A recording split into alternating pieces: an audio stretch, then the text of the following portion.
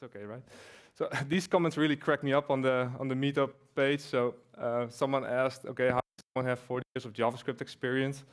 And I really love the last comment up there by Ismail. Is Ismail here by any chance? Ah, such a shame. So he was talking about a web time travel API. I really love the comment.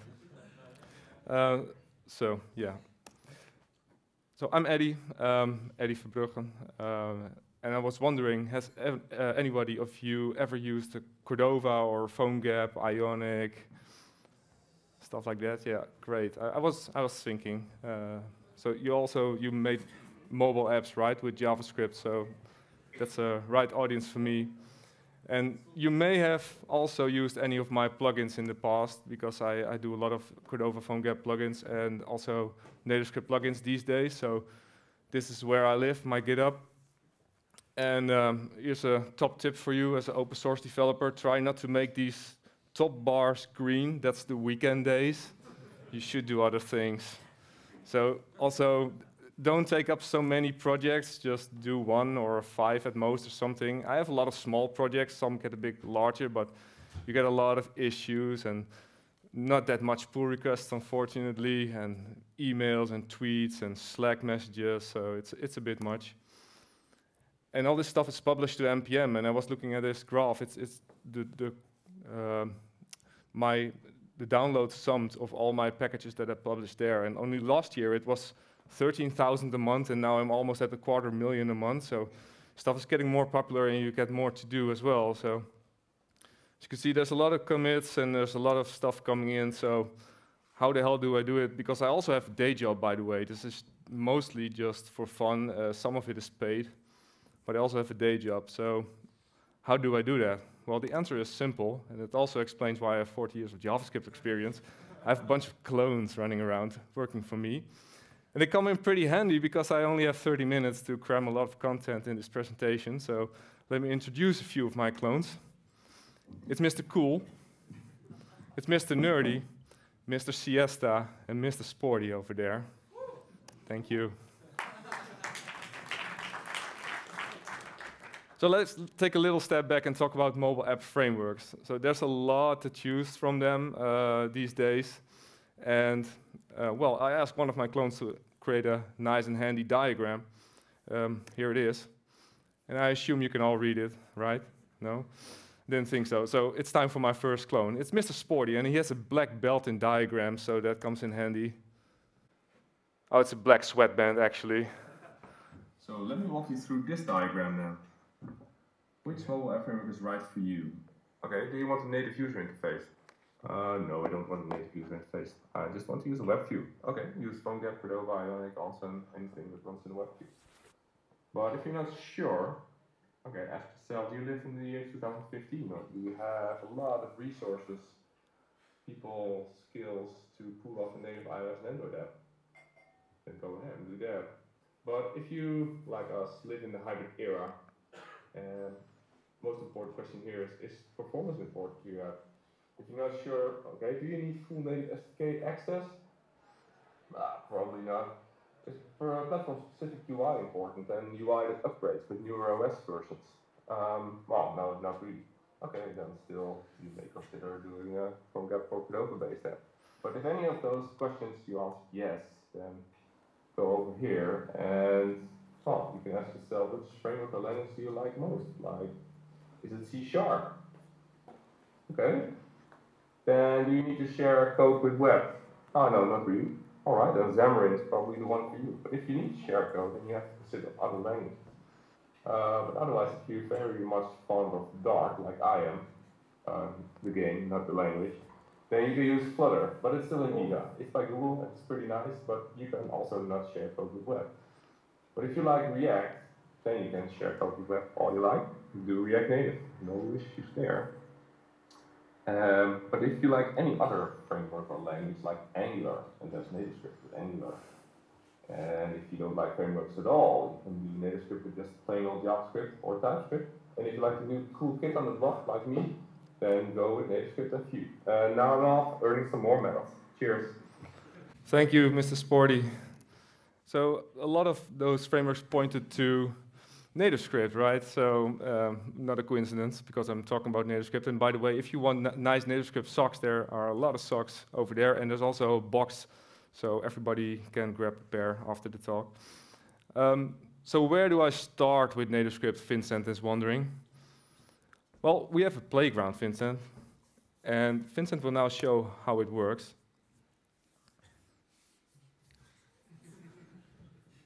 Yeah, yeah, yeah, yeah. Down there, all right. So, well, thank you, Vincent. That was really helpful. As usual, I have to do it myself. So go to play.nativescript.org, and um, well, I have a clone set up for you. It's Mr. Nerdy. Take it away, man. Mr. You're on, man. Oh. Hi. How are you doing? Uh, don't answer that. I don't really care anyway. Let me show you around at uh, play.nativescript.org. So I started a new NativeScript plus JavaScript project, uh, and the files are over here. And at the bottom you have these components you can throw on the canvas, and this is your canvas where you can see there's a few labels on the screen already. Um, so if you're happy, then you can scan a QR code with your app. In this case, I have my iPhone 10 with the Playground app. Scan it, and there's also an Android phone, which I'm going to use to scan the QR code as well and you can see that it fires up the app and it loads your playground. So to prove to you that it is connected, let's throw away these labels and throw something else on the canvas. So let's look for a pie chart and let's look for a progress bar. So what you can see here is that the pie chart is as a data series bound to an items property, and the property is called pieSource, and there's also a property called progress value for the progress bar.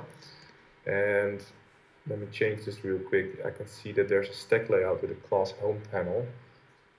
And in the CSS file, there's the home panel as well. Now I'm going to align everything to the top because the progress bar wasn't in view, but now it is. So let's go to our, um, our observable, which is tied to the XML file. It has this progress value and this pieSource uh, property. And let's refresh that. The progress bar should now initialize at zero. To make it a bit more interesting, let's throw in something I prepared. There's a progress bar that's filling. Every 10 milliseconds, it adds a, uh, 1% to the progress bar. So that's how you use. Uh, what about TypeScript, man? Sorry. Yeah, I was just going to say that it's also TypeScript. Thank you for interrupting. So NativeScript plus TypeScript uh, is another flavor you can use in the playground. And it's, oh, there goes my TypeScript sticker. But you're up, buddy. Let's stick in there and let's throw JavaScript away. So it's the same thing, really. It starts out uh, similarly. You can uh, throw away some labels and you can throw, uh, for instance, a calendar on the canvas, which is pretty nice. There you go. And yeah, once you're happy, you can uh, save this project and you can copy this URL and share it with your buddies. They can install it on their device as well. So that's really nice to prototype some stuff. And also, if there's a, a, a bug or anything in your code or in NativeScript code, you can share that playground URL with anyone, anyone else that can take a look at it. And also, once you're really happy and you want to develop locally on your machine instead of in the cloud, you can press this download button over here, and then you'll get all the sources on your file to get up and running with the NativeScript CLI or Sidekick or anything. Yeah, you're like done that. yet? So. Done? Oh, yeah, that's it. Okay. Bye bye. Thanks. So that's pretty nice. Sorry, sorry for the corny Dutch joke. So the diagram mentioned NativeScript with Angular. Um, so now we've seen JavaScript and TypeScript. Um, but Angular, well, personally, I, I really love that framework and also Vue, but Angular just a little more at the moment. Um, so how do we get started with that? And um, perhaps the, the man with the microphone needs to come back because we're going to ask Mr. Siesta to explain it to us. Hey man, wake up. Uh -huh. Oh, oh, is it that time already? You're up, man. Oh, yeah, sure. I'll show you around in the playground from NativeScript with Angular. I just started this new app, and it generates this project for you. And open the app module where you can see that there's an app routing module being included in here. There's this file. So if a blank route is hit, that's when the app starts, you'll be redirected to home. And this is my favorite feature by far. It's oh lazy loading. I love it. Oh, um, yeah, and so it loads the home module. The home module has a routing module as well. It loads the home routing module. Of course, you can structure this any other way, but this is a nice way to structure your Angular app, I think. So it has a route, a blank route that uh, loads the home component. And home component, you've seen this in Angular 2 to 5. This is 5 actually. It's all the same way to declare your component. There's this template URL, which is this HTML file, and there's styles as well. So let's open up the HTML file. You can see that there's an action bar, and let's add something to the action bar, and search bar in this case. Let's try it again. And save that. And also there's this scroll view, which we will blow away and replace with something I've prepared already, this red layout that renders images. And every image in here has a text 1256 and an ngIf like any other Angular ngIf you're used to, which determines whether or not this image can be rendered based on if there's no search phrase or the search phrase matches one of these numbers. So let me try this on my phone over here, and let me include one and two, and nothing happens. And that's expected because in our component, the playground has um, automatically generated this search phrase file. and now I'm doing voice input for some reason. And this search phrase is, well, initialized as nothing, and I can initialize it as 2 in this case. Come on. Internet is still working. And then you'll see that uh, this property is bound to the few but I'm binding it like this. It's not two-way binding. So if I type down something, it's not sent back to the model. And because of that, this value here doesn't change. But as you can use any Angular feature you like, you can also use ng model over here. Save that. And now you can see that if I change this 2 to something else, 4, 5, or 9, everything is working as expected, right? So you can use any Angular feature in the playground as you expect, and in NativeScript as well, of course. And, and now I'm back to my siesta. See you. Night, night, man. Thank you. Very nice. So you can use Angular in much the same way as JavaScript and TypeScript in NativeScript, uh, using largely the same UI. Those components are all the same UI, uh, and it, it automatically renders uh, well, uh, code behind properties for you as well in the playground. So, but we also saw that you can use Vue with NativeScript, right? So how many of you are using Vue these days, I'm wondering? So that's quite a few, right? So, probably because it's new and cool. So let's ask Mr. Cool how that works with NativeScript. Hey, man. Hey, Eddy, how are you doing? Good. Time for a drink already? Yeah, man, it's almost midnight over here. I'm kind of relaxed a little, right? Yeah, sure. Have you checked out the Vue yet? Uh, awesome joke. so if you add a new uh, NativeScript plus Vue.js uh, project to the playground, you'll get something that looks like this. There's a With a template, which should be pretty familiar to you if you've used Vue at all. But let's add a few things so I can show off some features. So here's a time picker which has data binding to an hour property and a minute property. And those properties have been added to uh, the data section over here. And it will just return the current hour and current minute. And in both cases, it's 2 past 12 already. So I told you it's midnight almost. So you can uh, you can scroll these. Uh, I'm trying to use a simulator, but it's actually a real device that I've connected. So let me scroll these babies to other values to, to see that it works, and there's also an Android device lying around here, and you can do the same. So now let's add something else, for instance, a list picker. This will also render a few pre-configured things. In this case, uh, a country list where I'll scroll over here and I'll scroll over there and you'll see it changing. And it has added a list picker countries property and a selected picker index to your data section. You can change that so the initial value will be something else than the first item. So now the first item selected is Bulgaria. So the third item, the second index, right? So now the last thing I'd like to show you is you have data, you have template, but there's also methods in uh, Vue. So you can add those as well. And I want to add a method that console logs uh, the selected index when you change the country selector. So what we have here on the list picker, there's an items which has been bound, there's a a v model which has been bound to the currently selected index, but if you change something, um, there's a selected index change event that is fired, and you can bind that to a function of your own. So I'll bind that to uh, changed country, something like that. So this is a method that I can reference here.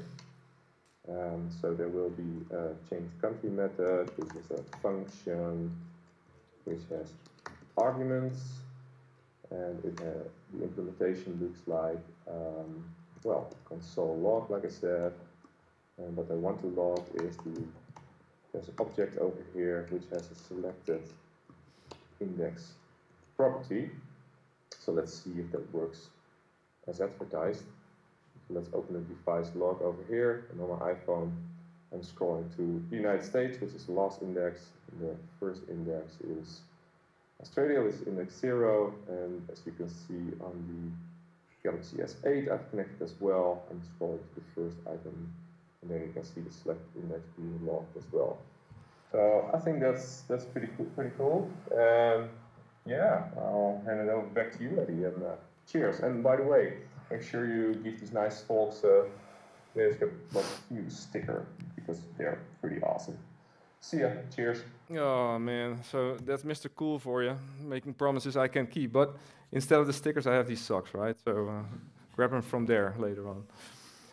So working with Vue is similar to Angular and TypeScript and JavaScript as well. So that's pretty nice. So is everything perfect then in the playground? Uh, well, no, of course it isn't. Uh, there's a few things it doesn't support, like uh, .vue files, but you can download your project and then use a Webpack template we have, and then use Vue files actually, uh, with all the IDE support that you'll get from that. And debugging, well, um, so there's a device that runs this wrapper app.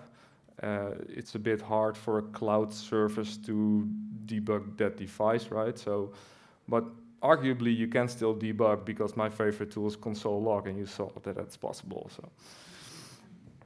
And also, uh, yeah, most plugins with third-party dependencies cannot be used in the playground. Um, you can use all the plugins that don't use third-party libraries like CocoaPods and uh, AAR files. Uh, and a few have been supported uh, in the wrapper app. And if you want to know which ones, then you can connect an app uh, a device to the playground, and then you can see the entire list of uh, supported uh, NativeScript plugins here. And also, you can download the project here uh, to run it in well the NativeScript CLI uh, or Sidekick, which is uh, a nice way to, for instance, deploy iOS apps on a Windows platform. So let me give you a little demo talking about plugins. That's my uh, work, daily work really. Uh, that's what I love and do. So let's show me, let, me show you a few. I hope that, yeah, they're here already. Let me find my mouse. So I have this simulator over here, and I have a real device lying around over here, and I have this plugins app. I have to look behind me because I don't have it mirrored here, so I have to be a bit rude and look there. So you may be wondering what, what's wrong with the monitor. Why is the at the top, why is it lighter than at the bottom? Well, actually, it's the gradient plugin, which has two colors defined, and it will just give you this nice background gradient. So that's a plugin already. And then there, over here, there's uh, the material design actual hamburger icon with a bit of cheese leaking over your meat. I really love it. So that's the font icon plugin. And there's also this drawer over here, which has uh, a nice transition effect. Of course, there are multiple ways to have a drawer. You can also overlay it over your page and not push it away, etc.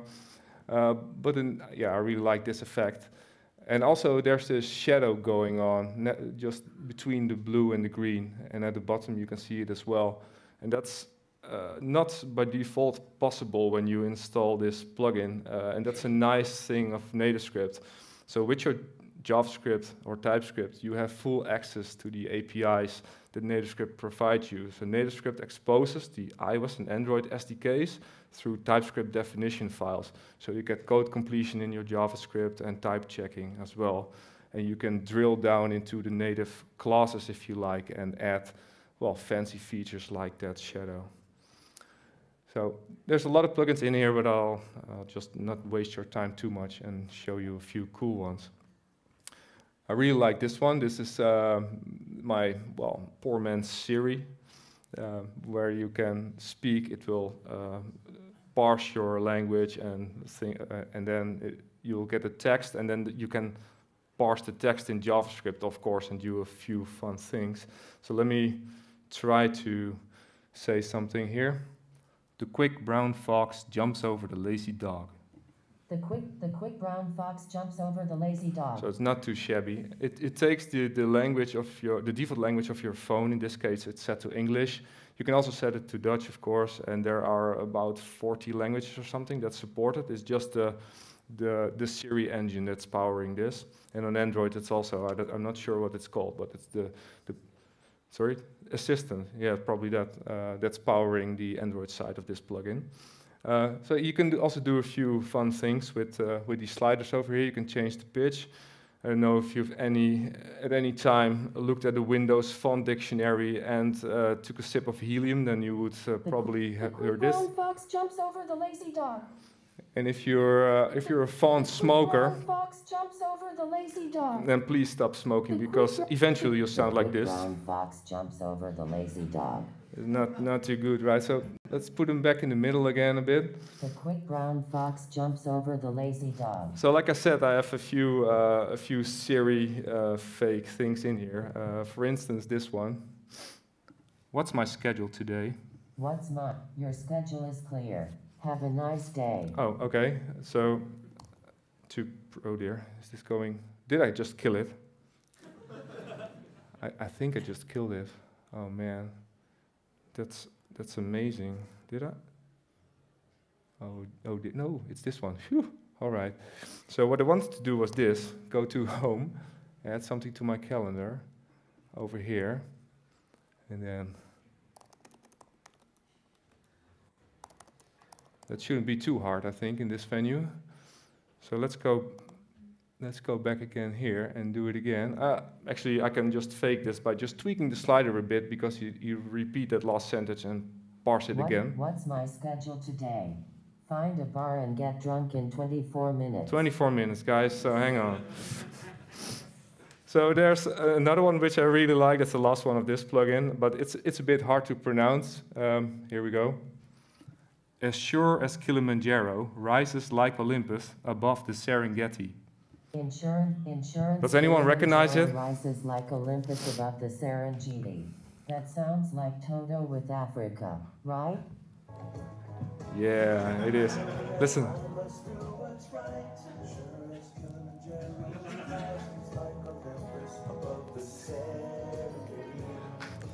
Thank you. I really love this song, but I never knew what he was saying. So there you go. Something with rice and insurance. So, but you may wonder why did you why, why did it pick up this song? Well, I, I only look for in, this string for an index of, of three words. If any of those three words match, then it will say, hey, it's Toto with Africa. So it's Kilimanjaro, Olympus, or Serengeti. And I got them all three right, so it was uh, pretty safe this time. So now I can throw. Oh. So this app ships with only one song, so it's a bit hard. I can try, but it will fail. Uh, oh, here. So let's see if my iPhone will wake up. Yeah, it's awake. So on hardware, you have a few more possibilities. So there's AR, which I'll, I'll come to in a second. And also there's um, mapping. That works in the simulator as well, but it has a bit less grunt than this device. So uh, this is Mapbox powering uh, this, uh, this plugin. Sorry? Yeah, yeah. Well, it's not entirely accurate. You'll, you'll probably end up at my neighbors or something. Uh, but yeah, you can press here and get dire directions to my home. But I think it's still set up to uh, use a way, yeah, use a waypoint. So it's not a direct connection to my home. This will trigger the NativeScript Directions plugin. And it's looking for the location here, and you can see there's a waypoint in Bulgaria, and then to my home. It sounds like an efficient route, right? So the reason it opened Google Maps in this case is that um, Apple Maps doesn't support waypoints when you open it, open it through a custom URL scheme. So if you pass in waypoints, the plugin will use Google Maps if that's installed. If that's not installed, we'll fall back to web actually. So let's go back to wherever that app was. You saw something, right? so there's also, oh, let's, let's go back to, to mapping once more because I want to show you custom markers. So you already saw that one. And there in Bulgaria, there's a few as well. And here's where my clones live, by the way. This one lives in uh, Austria, Mr. Sporty. And there's one in Finland. He's a bit laid back. And also, I was in Bulgaria actually, and this truck driver hit me. He, he lives over there, and we had an insurance nightmare with him. But so I'll just leave them in here for fun. And there's also Mr. Siesta is living over here, and there's also one at Aruba, I think. Yeah, that's Mr. Cool. He, he, should live in Aruba, but oh, he's off the coast. So he's probably in a boat chilling or something. All right. So, so that's Mapbox. It has a lot of nice features. Also a live traffic map and everything. So you can you can check if it if this is, would be a good time to to go home. Let's check that real quick because this is actually the traffic map that, map that I've loaded. So it's mostly green. In the direct vicinity, it's a bit more orange, but it's, it's good. So don't drink and drive, by the way. So also, app icon is pretty cool plugin. Uh, you can add uh, deep links if you like. And my, like I said, my, my wife is gonna love this picture. Sorry if you're watching the live stream. So these are 3D touch icons. And since Android 7.1, you can also have this on Android, which is pretty cool. Uh, and uh, iOS has it since version 8 or 9, I'm not sure, uh, where you can deep link into certain pages of your app. And you can bundle those deep links in your app descriptor, but you can also add them at runtime. So in this case, I'm adding uh, one at runtime, and now you see there's another deep link there to mapping. Let's go there, you can see, whoop, now it opens the mapping route. So the routing, of course, your, your app gets a notification uh, that it was loaded with a certain uh, link, and then your app needs to route to the correct page. And also with app icon, this is a bit funny. Since iOS 10.3, you can change your app icon on the fly. I don't know if any of you saw it happen on, on an app. Uh, you will notice because when you, you press the button to change the icon, you will get this prompt. And there are ways to to remove this prompt, but it's a bit cheating and Apple frowns upon it. So uh, the user will be notified when the icon changes. So you, you can't really do a nice background weather-based icon or something. So that's a bit of a bit of a pity. So and the last one I'd like to show you is, uh, is AR.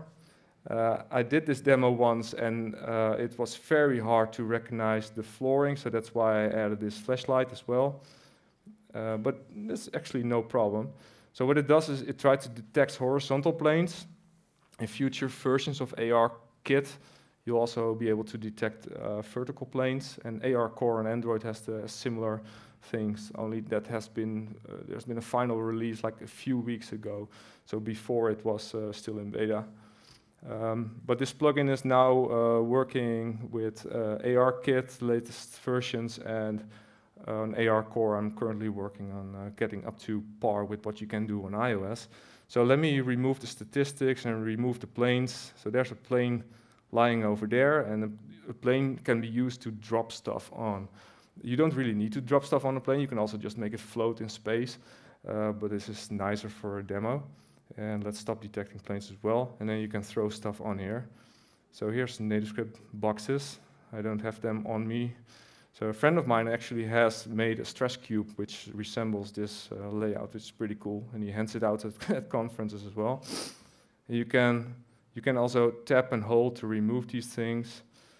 And I always try to stack them, but it's pretty damn hard. But yeah, it's pretty cool. You can see yourself in the background. Yeah, good question. So I'll, I'll draw, the, draw the planes again, and you can see where the platform is, and they tumble off. Uh, in, yeah, like when, when they're about 40 meters deep or something, then they get removed from the scene. Uh, otherwise, uh, well, your poor little iPhone 10 processor will give up at a certain point in time. So there's this huge plane at the bottom that detects hits of those boxes, and then when it hits it, it removes them. And well, you, of course, you can do other models as well. So for instance, here's a tube which is pretty large. It doesn't fall, it just drops in place. Oh, here, it tries to stand up there. Here's my foot. Yeah, there it is. So that's AR, pretty well. I'm not sure how to how to make a real uh, use case out of it, but it's it's nice to play with, right? So sorry. Uh, So let's get back to the presentation. Um, I'm almost done. Um, if you'd like the, uh, to try the app on iOS and Android, you can uh, scan this QR code. On iOS, by the way, you can just use your camera app. It will scan QR codes these days. On Android, you probably have an app or something. And I also have a few resources. Um, if you want to look at that code, so this was a NativeScript with Angular app. That's the source code up there on my GitHub. And if you well, like to see what plugins are out there, uh, which templates are out there for NativeScript apps, there are about 750 plugins or something right now. Uh, then go to market.nativescript.org. Um, great NativeScript courses. My t-shirt was sponsored today by nativescripting.com. Um, and also have one to give away, by the way. And if you want to fool around, go to play.nativescript.org. It's, uh, it's pretty fun to, to do. And uh, well, now my clones want to say one last thing to you. Thanks for having us and have lots of fun using NativeScript. Thank you very much.